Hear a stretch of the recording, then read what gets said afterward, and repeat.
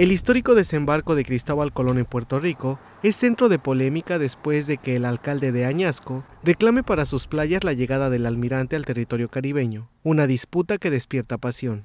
El alcalde Jorge Esteves señaló que dispone de documentación histórica que ratificaría su teoría y que está dispuesto a debatirla con quien sea necesario, afirmación que echa por tierra la más reconocida, según la cual el almirante habría desembarcado en la localidad de Aguada, eh, estoy dispuesto a ir donde sea, a los foros que sean. Si el pueblo de Aguada y su alcalde tienen las pruebas, que las presenten. Yo tengo las mías. Si el pueblo de Aguada cree que yo estoy diciendo una mentira, vamos al foro que sea, porque es cuestión de darle con las verdades. Por su parte, el historiador oficial de Puerto Rico, Luis González Vales, mantiene reservas sobre el punto exacto de la llegada de Colón. Asegura que pudiera ser que su tripulación hiciera alguna parada en su ruta hasta desembarcar en la isla, pero que la teoría comúnmente aceptada siempre ha sido la que toma como el lugar histórico a Aguada.